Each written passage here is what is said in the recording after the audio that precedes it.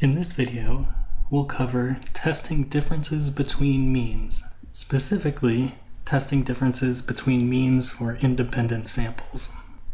When we do hypothesis testing in statistics, we have a research hypothesis, that is, what we as sociologists expect to see, as well as a null hypothesis, which is what we actually test. The research hypothesis is that the mean for two different groups on some dependent variable are not equal or differ. The null hypothesis is the opposite of this claim. That is, the population mean for two groups are equal, or there is no difference. In the last video, we covered confidence intervals. The formula for confidence intervals is based on this formula for t. As you can see, in order to solve for the population mean, or mu, we need a t-value, which we obtain from a table, a sample mean, and an estimate of the standard error. Testing for differences between the means of two groups uses essentially the same formula, but we replace the means with differences between means. So instead of one sample mean, we look at the difference between two sample means. And instead of subtracting the population mean, we subtract the difference between the population means. Finally, the denominator, instead of a standard error for a sample mean, is a standard error for differences between sample means. Based on the null hypothesis, we can simplify this formula. According to the null hypothesis, which is what we're testing, there is no difference between the means of the two groups. In other words, this term equals zero. If the population mean for both groups is 5, 5 minus 5 is 0 if the population means we're 10, 10 minus 10 is 0. So this term is equal to 0. And if we subtract 0 from any number, we simply get that number. So we can delete that second term entirely. Which leaves us with this formula, which is the formula presented in the textbook. T equals the difference in the sample means divided by the standard error of the difference in sample means. The most difficult part of solving this equation is calculating the standard error. The formula for the standard error is quite large. However, just as with the standard error for the mean, which we calculated for confidence intervals, this standard error requires that we know the variance and the sample size of our samples. In other words, it has very few unique variables. In order to illustrate t-tests for differences between means, I will work through problem 24 in your textbook. This problem states, an educator was interested in cooperative versus competitive classroom activities as they might influence the ability of students to make friends among their classmates. On a random basis, he divided his 20 students into two different styles of teaching a cooperative approach in which students relied on one another in order to get a grade, and a competitive approach in which students worked individually to outperform their classmates. Use the following data indicating the number of classmates chosen by students as their friends to test the null hypothesis that cooperation has no effect on students' friendship choices. What do your results indicate? Each of these numbers represents the data for one student and reflects the number of friends that student has in the classroom. The research hypothesis is that the style of teaching, cooperative versus competitive, affects the number of friends the students have. In other words, there's a difference in the average number of friends claimed by those in the competitive setting versus the cooperative setting. The null hypothesis is that students in each group have the same average number of friends. The first step to solving the problem is to calculate means and variance for each of our samples. So for the group in the competitive approach, the mean is equal to the average of the 10 students. We can use the same average function to find the average for the cooperation sample. According to the data, those in the competitive setting had an average of four friends in the classroom, while those in the cooperative setting had an average of seven friends. Next, we'll calculate the variance. In order to calculate variance, we'll first square each of the scores. So for the first data point, three friends in the competitive sample, that is equal to 3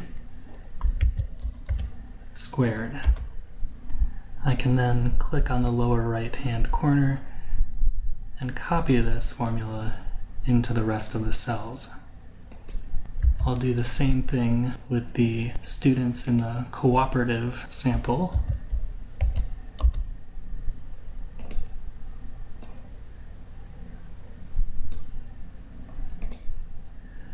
And then I'll sum those squared scores by using Excel's sum function.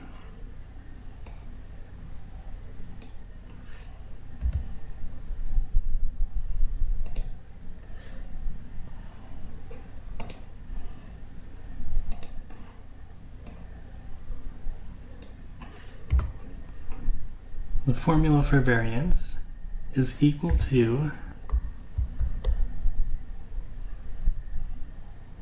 the sum of the squared scores divided by n, in this case 10 for the competitive sample, minus the mean of that sample squared. I can do the same for our second sample, the cooperative sample.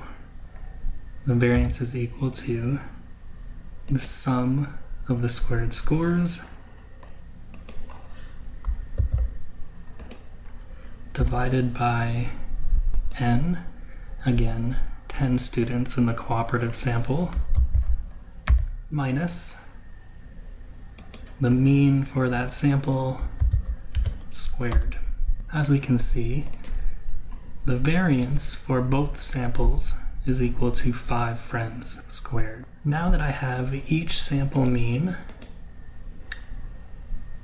the variance for each sample, and the sample sizes, I have all the information I need to calculate the standard error as well as the t-score. I'll start with the standard error.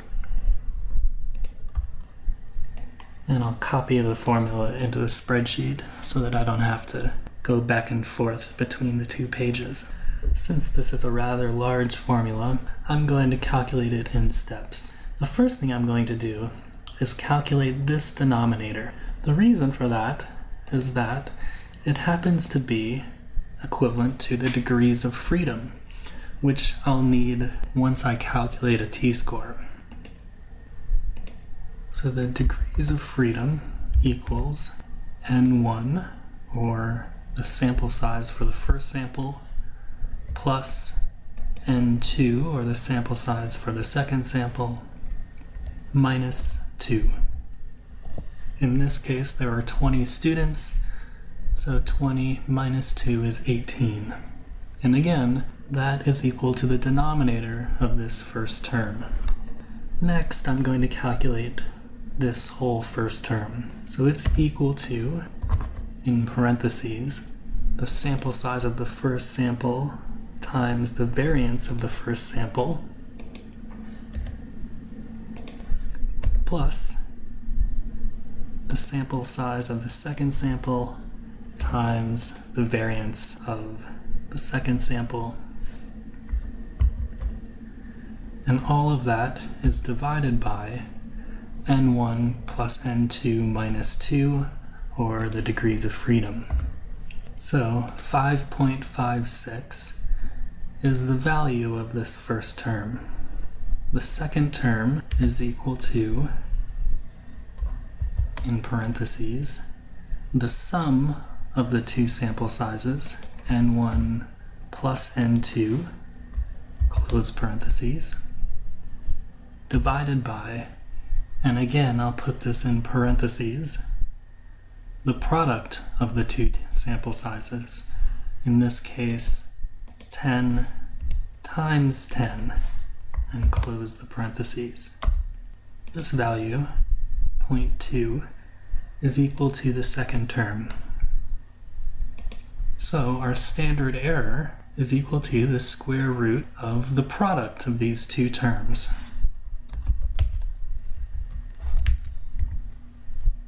SQRT, which is Excel's square root function, and then in parentheses, the first term times our second term, and then close the parentheses. So our standard error of the differences between the means is equal to 1.05. Next, we can calculate a t-score. The t-score is equal to the difference in the means divided by the standard error equals, in parentheses, the mean of the first sample minus the mean of the second sample, close parentheses, divided by our standard error, or negative 2.846. This is our observed t, or calculated t. It's the t-score for our data. In order to test our null hypothesis, we will compare this observed t to a t-value from the table in the back of the book. Again, our degree of freedom is equal to 18. So if we look to table B,